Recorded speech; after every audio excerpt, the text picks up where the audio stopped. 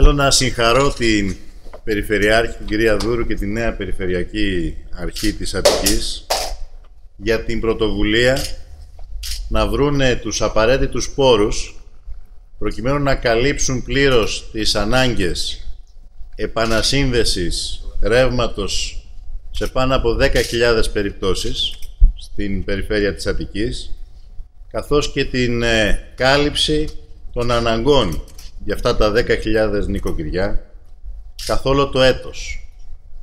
Τις βασικές ανάγκες νοικοκυριών με τέσσερα τουλάχιστον μέλη. Αυτή η πρωτοβουλία αναδεικνύει ότι η δυνατότητα να αντιμετωπιστούν οι πληγές της ανθρωπιστικής κρίσης που έχει επιβληθεί στη χώρα μας από το καθεστώς του μνημονίου είναι υπαρκτή. Αρκεί να υπάρχει πολιτική βούληση.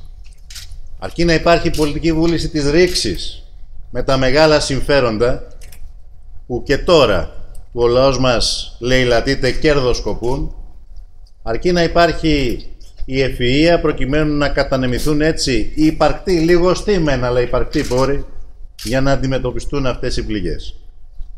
Θέλω να επαναλάβω. Δέσμευση της νέας διακυβέρνησης του τόπου θα είναι η αντιμετώπιση των πληγών του μνημονίου και αυτό είναι αδιαπραγμάτευτο.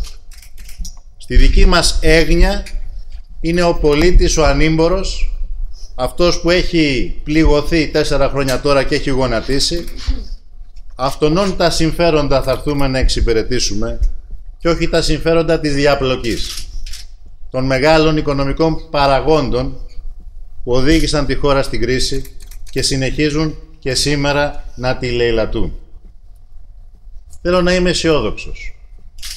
Διότι η επόμενη χρονιά θα φέρει τη δημοκρατία, τη λαϊκή κυριαρχία και την αξιοπρέπεια. Δεν θα έχουμε απλά εναλλαγή στη διακυβέρνηση του τόπου. Θα τελειώσει το καθεστώς της φαυλότητας, το καθεστώς της διαφθοράς, το καθεστώς της διαπλοκής. Θα περάσουμε βεβαίως δύσκολες στιγμές, διότι έχουμε να αντιμετωπίσουμε μια υπαρκτή και μεγάλη οικονομική κρίση, αλλά με το κεφάλι ψηλά και με το μυαλό μας στην αξιοπρέπεια του πολίτη που χυμάζεται, του αδύναμου πολίτη. Και είμαι βέβαιος ότι θα τα καταφέρουμε. Πρέπει να πιστέψουμε στις δυνατότητές μας και πρέπει να αποκατασταθεί η εμπιστοσύνη του πολίτη στο πολιτικό σύστημα και στην πολιτική. Εμείς τις δεσμεύσεις μας θα τις κάνουμε πράξη και σήμερα εδώ η επίσκεψή μου έρχεται αυτό να σηματοδοτήσει. Ότι υπάρχει δυνατότητα παρά τις δυσκολίες για μια διαφορετική πολιτική δίπλα στον πολίτη και στις ανάγκες του. Κύριε Πρόεδρε, αναφορικά με την καταγγελία. καταγγελία του χρηματισμού ε, τι Χαϊκάλ. Και εγώ πριν από λίγο ενημερώθηκα γι' αυτό. Εκτιμώ ότι πρόκειται για μια σοβαρή καταγγελία. Θα μου επιτρέψετε όμως να μην κάνω καμία παραπέρα δήλωση αν δεν α, δω τα στοιχεία και δεν εκτιμήσω με βάση τα στοιχεία που θα κατατεθούν το πόσο σοβαρή είναι και το πόσο μπορεί να επηρεάσει τις εξελίξεις. Σε κάθε περίπτωση θέλω να σας πω ότι εμείς εδώ και καιρό έχουμε επισημάνει ότι ακολουθείται ένας δρόμος ολιστηρός.